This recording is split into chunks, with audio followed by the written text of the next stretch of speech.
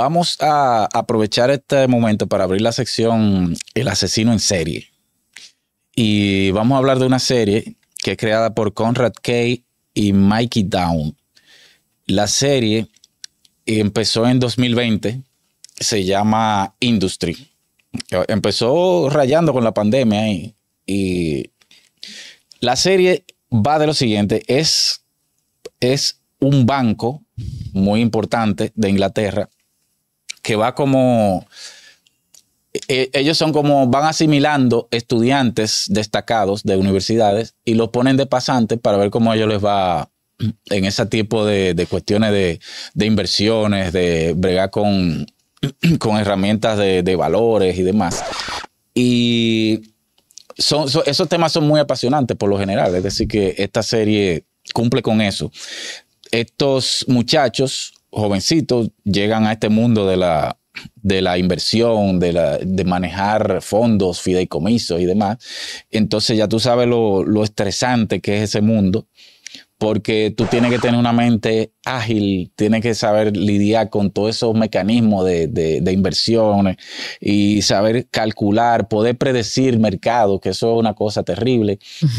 y eh, encantar a las personas que, tienen los, los recursos para, para, captarlos a tu, a tu cartera de clientes. Es decir, es una cosa, es un mundo que es muy, es muy cautivador porque desde fuera siempre luce muy cautivador esta gente que vive en, Wall Street y que, y que viven trajeados y que viven corriendo de aquí para allá y de allá para acá con una libretica en la mano y un, un millón quinientos mil números cruzando y, y, nadie, yo no, yo no entiendo ni hi de esa vaina. Yo, yo realmente me lo encuentro como cautivador, me llama la atención, pero yo no me vería en ese mundo realmente. Así como no me vería en el mundo de The Bear, tampoco me vería en ese mundo de Industry.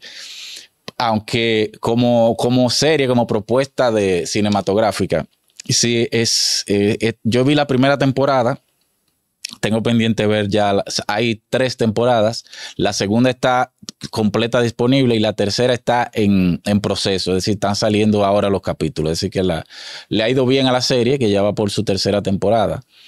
Déjame ver si yo ubico nombres de los, de los actores, ¿verdad? Para no... Sí. Ese mundo es muy fascinante para el que no lo está viviendo, eh, pero para el que lo está viviendo es un ambiente súper tóxico. A eso que yo me refiero, que yo no me eh, veo. Y que realmente le va restando al que vive en ese mundo un poquito de humanidad. Sí. Eh, poco a poco se va, se va como volviéndose como una máquina automática. Sí, yo veo que uno ha visto dos o tres producciones que tienen esa temática e incluso hay una película. Ah, de Wall Street. ajá, el lobo de Wall Street y demás. Y Wall Street. Y Wall Street. Y entonces hay una que, que a mí me gusta mucho, y que eh, toda la información que yo tengo de, de, de Fogarate Radio no me permite Ay, Dios mío, José. Yo voy a tener que dejar de ver tantas cosas. Es que eh, yo te estoy diciendo porque tú te ya la, mucho. la, noticia de, de Tekashi, de Yailin, ya no, no, me, no, me, no hay más espacio en mi memoria para yo recordarme de esta película. Pero hay una de esas películas que es una de mis favoritas, que está Stanley Tucci como entre uno de los personajes porque maneja ese tema de, de las inversiones, de la, del mundo de, de los valores. Lo de cuando la burbuja del 2008. Ajá. Y yo no me voy a recordar el nombre de esa película. Margin Call. Margin Call. Margin Call. Margin Call. Margin Call. Que esa película es genial y trata exactamente ese tema. Sí, sí. El, y lo que me gusta de esa película es lo, lo escueta que, porque ahí se ve que la hicieron con muy bajo presupuesto, pero lograron que tú sientas la opulencia de ese mundo, que eso, es lo, eso es lo complicado. Y eso pasa también en, en, esta serie Industry, que tú sientes, aunque tú no lo ves tú no la ves la opulencia, pero tú la sientes, la opulencia. No, se mueve mucho dinero. Sí, porque manejan millones y millones y millones de dólares. Eh, y ellos están en un, en un, estilo de vida muy costoso. A veces ni siquiera pueden vivirla porque eh, están tan, tan metidos en el, en, el, en el negocio que no pueden disfrutar todas las cosas que pueden comprar con su dinero, ¿no? Sí, es, muy, es un mundo, según lo plantea la serie, es inmensamente envolvente. Sí, y tóxico. Tú, no, tú te levantas y te acuestas y es en eso que tú estás 24/7. Salvo dos o tres momentos para darte un, un, petacazo de, cualquier sustancia que te traiga, que te saque un poco de la realidad. Y, y puede ser no solamente eh, aquellas sustancias, ¿no? Presumiblemente polvo blanco, presumiblemente. No, no, no, no, no. Eh, puede ser comida, bebida, eh, una relación con una persona, o sea, se aferran a muchas cosas o está este hiperproductivo que no puede estar tranquilo en su casa, tiene que tener cada minuto del día Exactamente. ocupado. está, está la, competitividad. Eh, Correcto, eso es voraz. Absoluta. Eso es voraz. Inclemente. Como tú, eh, hay gente que, que yo necesito estar por encima de todos, a, como de lugar, aunque tenga que vivir empastillado para yo dormir menos que los otros. Una cosa increíble. Sí, sí. Y, y como tú no sabes si esa gente en realidad son compañeros de trabajo o son amigos, tú no sabes realmente, porque en cualquier momento una situación que tiene que ver con un cliente te convierte en eh, el que está al lado de ti es tu peor enemigo. y, al otro día están trabajando juntos. Es una o te quita una cuenta, o te quita una cuenta. Sí, es una cosa increíble. Y tú no, y tú no sabes cómo, cómo reaccionar con eso. O, sea, o cómo resolver una pérdida de, miles de millones de dólares que tú le ocasionaste a un cliente. Claro. ¿Cómo tú? es una cosa de loco. Yo, me llama la atención que tanto en esta como en las películas que uno ve sobre ese tema, son personas muy jóvenes, que yo creo que eso es eh, parte importante, porque, por ejemplo, a mí me sientan en una silla de esa y yo caigo redondo a los 15 minutos. Pero un muchacho joven lo aguanta. Puede que no, hasta cierto punto. Y, se procura crear ese ambiente de competitividad. porque no es solamente por lo logro, es por lo que el otro tiene, que también tú lo quieres tener. Y, la, y el estilo de vida que tiene el otro. Sí, sí. Cueste lo que cueste. E, es, un mundo muy agresivo. Muy despiadado. hay, que, hay que tener cierta, ciertas características para sobrevivir ahí. Y realmente hay gente que las tiene. Claro. Eh, no sé cómo, cómo se maneja eso, cómo tú en la noche, cuando tú llegas a tu casa, ¿cómo, cómo tú te sientes en eso? No creo que ellos puedan. No sé.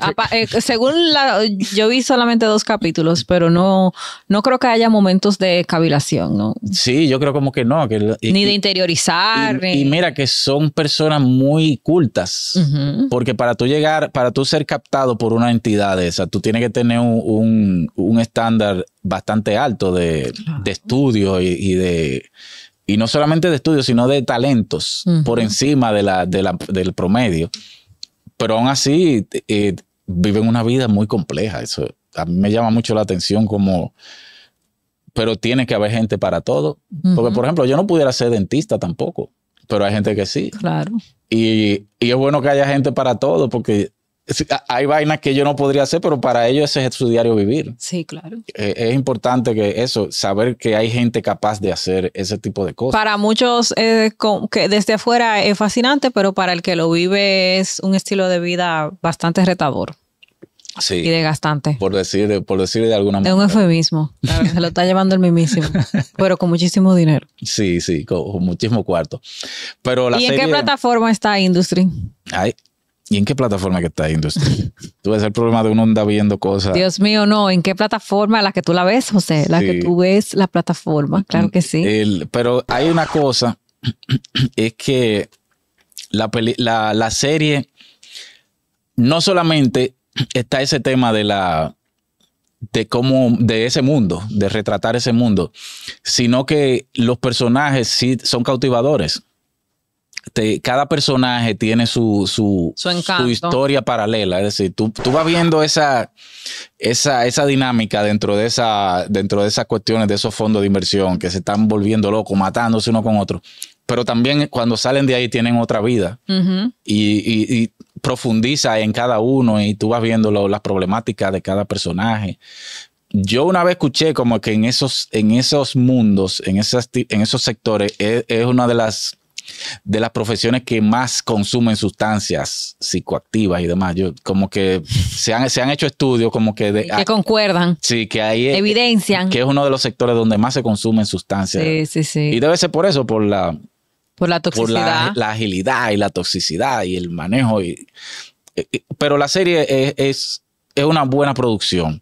Tengo pendiente comenzar la segunda temporada a ver si tiene el mismo nivel de, de la primera creo que la primera es bastante importante, sí, la, yo creo que sí, tú te, tú te puedes ir enamorando de los personajes y de las cosas que le van pasando. Sí. La plataforma, José. Coño, ¿cuál es la plataforma? Qué lío. Porque es que yo las veo de, la manera que yo pueda. Ok, no, en la plataforma, tú lo ves en la plataforma. Eh, me voy a meter en tu segmento del asesino en series para recomendar una que me tiene a mí eh, bastante entretenidita, que se llama El Encargado. Está en Disney Plus. Ah. Está en Disney Plus, o sea. Em, y está protagonizada por, eh, ¿cómo es que se llama? Ah, tú, tú estás viendo también Urbano. Guillermo Franchella. Ah, Guillermo Franchella.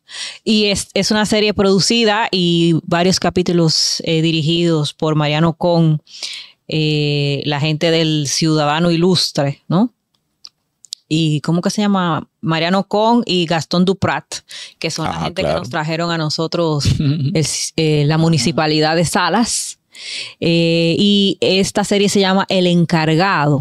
El Encargado es una serie ambientada en un edificio un edificio clase media, clase media alta en, Argentina y que eh, Franchella es la persona que es, se encarga de gestionar el edificio, ¿no? Y limpiar y toda esa cosa.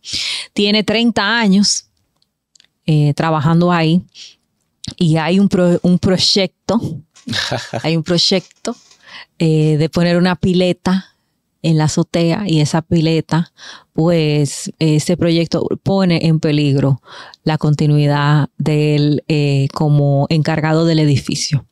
Que es interesante todo, él como personaje, eh, las estrategias eh, que él utiliza para poder mantenerse a flote y dando la cara por el edificio, el increíble diseño de producción en el que cada apartamento Ah. Eh, está, bien, está bien ambientado que tú verdaderamente crees que esa gente vive ahí. La vecindad. Claro, la vecindad. Eh, y a mí las junglas verticales me parecen siempre muy, muy interesantes. Yo que soy, eh, vengo de Aquí no hay quien viva y de la que se avecina. La que se avecina. Este, a mí me encantan esas, esas series de edificios y de psicópatas habitando en los edificios. Entonces va mucho de lo que se ve, no es lo que es, lo que tú crees que es realmente no va por ahí. Todos tenemos eh, nuestros secretos y usual y, lamentablemente eh, el personaje de Franchella, Eliseo, lo sabe todos y tiene todas todas esas, esas esos detallitos, ¿no? Hasta la cosita más mínima. Eh, él se encarga como de armar ese plan y es, es, un lince, o sea, el tipo es un lince, la verdad. Y cada, cada capítulo es como un acompañamiento de su cotidianidad, ¿no? Él se levanta, eh, barre, el frente y ya después de ahí él empieza con la dinámica a según van saliendo los condómines. Ah. Y las posibles, y cómo van pues eh, surtiendo efectos las estrategias que él utiliza para ir eliminando eh, gente que le pueda, le pueda proveer apoyo al que está haciendo el proyecto de la pileta. Anda el carajo. es adictiva esa serie. Mira, a mí me gusta, a mí me gusta ese actor, a mí me gusta ese actor. Eh, que claro, desde que decidió eh, dejar el género resort, ¿no? Porque él era como un Fausto, Fausto Mata para allá. Ah. Eh, que hacía películas de, de esas que vienen a grabar aquí, que la hacen en los resorts. Sí. O sea, que ellos tienen un, todo un género de esas de películas de resort. Eh, nos ha dado grandes, grandes, grandes eh, interpretaciones de un, un, dato que acabamos de encontrar recientemente, la, la serie Industry es de HBO. Ah, es de HBO, que tú lo encontraste recientemente, José, tú, tú, la ves en HBO. Justamente, eh, eh, desde que vi el dato, digo, pero claro, porque el comienzo de HBO es, icónico, porque cada vez que uno oye eso, uno piensa en la canción de Game of Thrones. De, una, vez. Cuando tú oyes el tú piensas en Game of Thrones. Entonces, todo lo que empieza con eso, tú vienes Game of Thrones, ¿no? pero es de HBO. Y como se desarrolla en Inglaterra, una serie inglesa es también de la BBC allá. Mm. Pero para nosotros es de, de HBO. De HBO. Bueno, pues las dos recomendaciones de este segmento es Industry de HBO. De HBO. Y el encargado de Disney Plus. Disney Plus.